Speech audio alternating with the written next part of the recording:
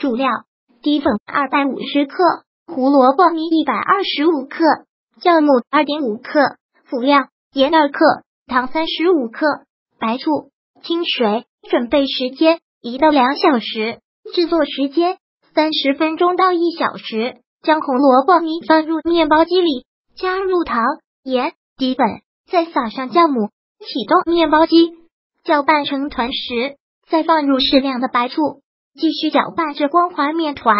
搅拌的时候大概十五分钟就 OK。让面团在面包机里进行第一次发酵，基本发酵完成后，面团膨胀至原来的两倍大，则发酵完成。取出面团，重新揉成光滑的面团。然后将面团分割成七到八等份，改成圆片，对折起来，放在碟上。锅里注入冷水，将碟放在上面，加盖进行室温醒发，室温二十二到二十六度，醒发时间约三十到三十五分钟。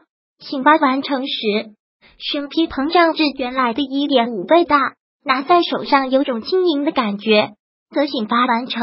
然后用筷子在包子上压两条痕，冷水下锅，大火煮沸后转中火蒸十五分钟，熄火后三分钟打开盖取出即可。